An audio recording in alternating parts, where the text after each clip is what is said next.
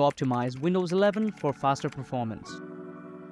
So in order to make your Windows 11 PC faster, the first option you can try out is go to settings and after you reach settings go to the system option, scroll down and go to storage option right here and make sure to turn on the storage sense right here. So what this will do is it will automatically free up the space, delete temporary files and manage locally available cloud content. So you can turn it on and then you can go to cleanup recommendations right here. So after you do that, if you have any cleanup recommendations here, then make sure to apply that to your PC and that will make your Windows really fast. The next thing is go to advanced storage settings settings inside system storage, right? Click on it. And after you have done the following, then go to your privacy and security option right here inside the settings, right? Then go to general. Then what you can do is disable all of these options right here. These are, are somewhat unnecessary. So make sure that you disable all of these options. And after you have done that, go to your privacy and security option again and go to speech. Turn off the online speech recognition if you're not using the online speech recognition feature right here. And after that, go to your privacy and security again and go to inking and typing personalization here and make sure that you turn this off. So turning this off will disable to use your typing history and handwriting patterns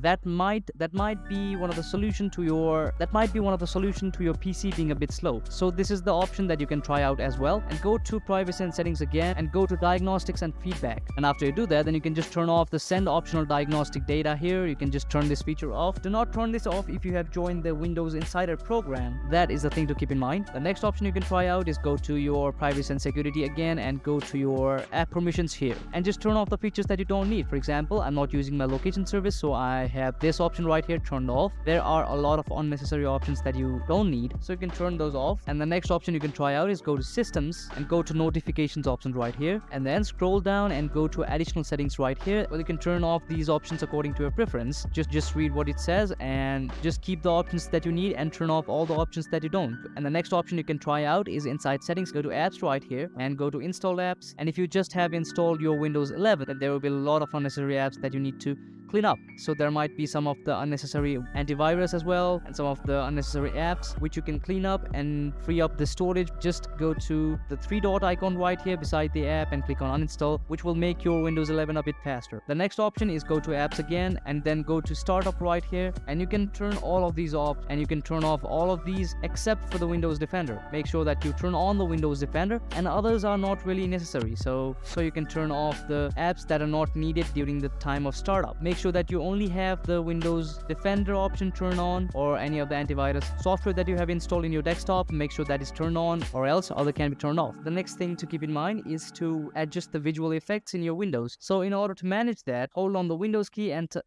hold on the so in order to manage that, hold on the Windows key and click on R. After this opens up, type sysdm.cpl and click on enter. After you do that, you're led to this page right here. Go to the advanced settings and go to the settings under performance and make sure that you toggle this option on. Adjust for best performance, right? Rather than any of the options here. Make sure that you toggle this option right here and just enable the feature right here in these options according to your preference. And after you're done with and after you're done with the management you can click on apply here and click on ok and that will make your windows a bit faster. The next crucial measure that you can take is by disabling your game bar. So in order to disable the game bar go to your settings and then go to gaming section right here click on it and go to xbox game bar. And make sure that this xbox game bar option right here is toggled off. If you do not play any games if you do play games then this is not really necessary. And after you're done with that go to your search bar again and type for search services. And after let and after this pop-up appears here then what you can do is just disable unnecessary services that is provided to you. So for example one of the unnecessary service that is provided to you is download maps manager. So if you're not using maps then this is not really necessary. You can just search the services around here that you don't need and then right click on the services go to properties and make sure that you disable this option right here right? From the startup type make sure that you disable it. Another service that you don't need is fax i think. If you're not using fax then why do you need it right right? So you can go to properties and disable it again. Other one is Hyper-V. If you're not using virtual desktop feature in your PC, then it's not really necessary. So you can disable these options as well. And the next options you can try out is click on Windows plus R, type TEMP, click on enter can continue right here. And after that all of these options are not really necessary. So you can just delete all of these options by selecting all of them. So this right here is the windows temporary folder. So you don't really necessarily need these. So you can just delete all of these by selecting all of these. And after you're done with that hold on the windows key again and press r and type percentage temp and percentage again and click on ok And after you do that, this right here is the user temporary folder. So you don't necessarily need these as well. So you can delete these as well, which will make your PC faster. Those were some of the options that you can try out in order to optimize your Windows 11 with faster performance.